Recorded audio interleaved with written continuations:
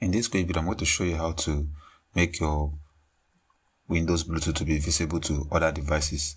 So I just reinstalled Windows and for some reasons my my Windows, my laptop Bluetooth is not visible to other devices.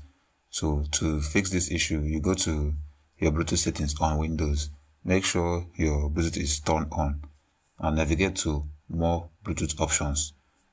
You're going to see where it says Discovery check the box that says allow Bluetooth device to find this PC.